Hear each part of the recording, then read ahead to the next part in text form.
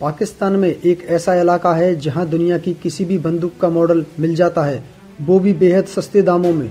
यह इलाका एक ऐसी जगह है जहाँ अब तक पुलिस भी जाने से बचती रही है। दर्रा आदम खेल, पेशावर से कोई 35 किलोमीटर दूर पहाड़ों में बसा छोटा सा शहर। यहाँ की एक मंडी मशहूर है, लेकिन खाने पीने के सामान के लिए नहीं, बंदूकों के लिए।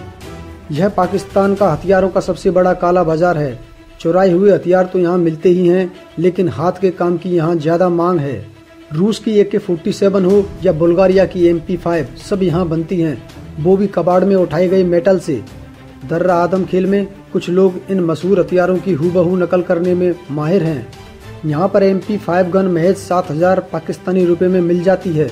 भारतीय मुद्रा में इसकी कीमत हुई करीब साढ़े चार हज़ार रुपये इसी तरह ए के फोर्टी सेवन गन यहाँ तेरह हज़ार पाकिस्तानी रुपये यानी सवा आठ हज़ार भारतीय रुपये में मिल जाती है। बेचने वाले इनके टेस्ट फायर करके भी दिखाते हैं।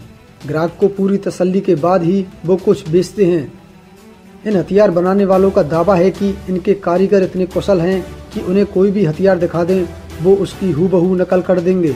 हथियार बनाने के लिए ये लोग स्क्रैप यार्ड से मेटल उठाते हैं।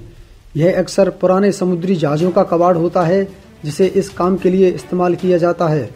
आसपास के इलाकों में रहने वालों को भी कोई परेशानी नहीं है, क्योंकि इलाका पश्तून बहुल है और पश्तून परिवारों में जवानों से हथियार रखने का चलन रहा है। एक जमाना ऐसा भी था जब इस बाज़ार में हर अवैध चीज़ मिल जाती थी, फिर चाहे चोरी की गाड़ी हो या फिर फर्जी डिग्री। 1980 के दशक में यह बाज़ार काफ़ी फला फूला अफ़गानिस्तान से सीमा पार कर मुजाहिदीन यहाँ आ जाया करते थे और सोवियत संघ के खिलाफ जंग के लिए यहीं से हथियार खरीदा करते थे। बाद में इस जगह पर पाकिस्तान तालिबान का कब्जा रहा। अब पिछले कुछ वक्त से हालात बदले हैं। सरकार धीरे धीरे इस इलाके पर नियंत्रण करने की कोशिश में लगी हुई है। दुकानदार बताते हैं कि कभी यहाँ सात हज़ार से भी ज़्यादा दुकानें हुआ करती थी। आज आधी भी नहीं बची हैं। सरकार की सख्ती की वजह से मांग कम हुई है। शहर के बाहर नाके लगा दिए गए हैं। जगह जगह लोगों को रोककर तलाशी ली जाती है। ऐसे में अब दर्रा आदम खेल से हथियारों को बाहर ले जाना मुश्किल हो गया है। अगर आपको भी हमारा वीडियो अच्छा